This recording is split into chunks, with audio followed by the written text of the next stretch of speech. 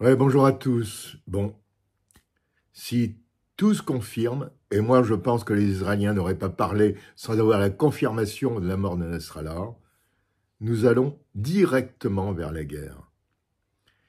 Car dans ce Moyen-Orient compliqué, il y a une loi qu'il ne faut pas oublier, c'est la loi du talion. Œil pour œil, 100%. Et là, et là, on y va directement. C'est terrible.